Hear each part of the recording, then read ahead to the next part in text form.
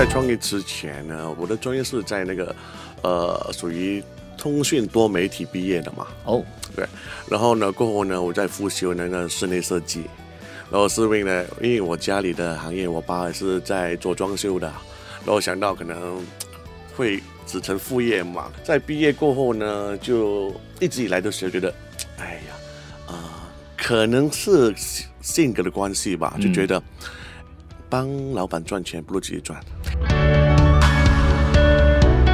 有一年呢，我们就想到呃，去我其中一个伙伴 Alvin 他的家里吃饭嘛，刚好他妈那天有空，然后他就煮了一碗他们，因为他们是潮州人，嗯，潮州人是比较喜欢吃那种我们叫汤饭、泡饭，我是爱喝汤，但是你觉得汤饭呢，会感觉怪怪，不是粥的那种味道，对耶又，不是饭那种味道，诶，但是觉得吃起来，诶，很不错嘞。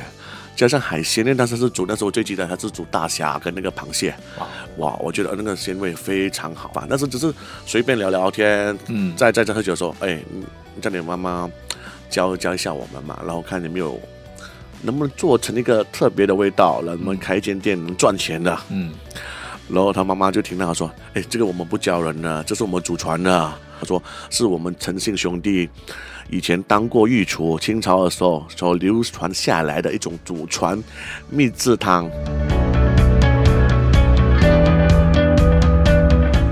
然后就说：“兄弟，如果你不教的话，就当我们去学，对不对？嗯你收我们做学生，拜你为师，我们去学。嗯学了过后呢，然后我们觉得，哎，饭好像放汤汤饭，那个汤配饭可能很好吃，嗯但是感觉太重口味。嗯，然后是不是能做面条？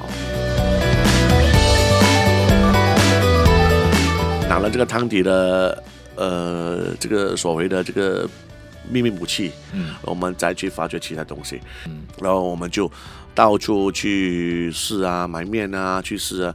我那时候三个月份，我从七十八公斤胖到八十九公斤了。哇，好夸张啊！对，好夸张。我们一直在吃，一直在试。我那那是我们的目标，其实是说大概要呃在三个月份里面要是一千瓦，嗯，一千瓦。就自己做那个秘方，对，自己做秘方要试试足一千瓦，嗯我才能肯定那个东西能不能。然后其实我看不到一千瓦，我看到八百瓦，我们都去投降了。我们在这个面馆的取名字的时候，我们花了一个多月，我们都还没有确下来。嗯那时已经把公司全部注册好，选址选好了，都没有把这个名字定下来。嗯那我们就说哎是哦，要一个让人家印象深刻、朗朗上口，不如再想一想。当天晚上我们回到酒店的时候，就刚好电视机在播着周星驰的电影，还真的是他电对，影。还真的是，OK，那这是我们觉得这是注定的。嗯。然后就我们刚看那一幕，就是刚才你说的嗯，有间客栈，对。对我们说，哎，不就叫有间面馆，啊。我们就定下来了。，OK，然后过后才开始分配工作了。嗯嗯。嗯，然后厨房的归 Alvin 啊，然后呃厨房外的归我啊，然后选址方面呢，跟那个呃 landlord 谈的条件呢，就归阿莫。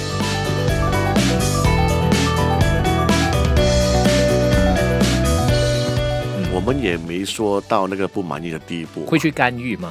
不会干预。我们说过了，呃，每一个人负责不同的领域、不同的地方的时候呢，嗯最后的决策者必须是你。哦，我们只能提供意见跟想法，嗯对不对？不满的话肯定会有的，可能呃，我我觉得这个不行啊，你觉得那个行啊，没关系啊，大家都是在创业时期啊，呃，never try never know。我说，嗯，就 OK 啊，反正是谁决策的，后果是谁负责。啊我不主张太民主了，为什么呢？嗯，我不知道能说没有。我觉得有些时候呢，必须要铁腕政策，啊，才能决决决定一些东西吧。就是太过民主，自由度太多。就是总之到最后呢，那个决策人他一声下令，我要这样子就是这样子，你不要跟我谈太多。对对哦对对，但你因为那嗯个下令了过后，那个效果跟那个成绩呢，就能说明一切。嗯对但是必须的，你那个决策者必须要承担你下令的那个好跟不好的成绩，你也必须要接受。嗯，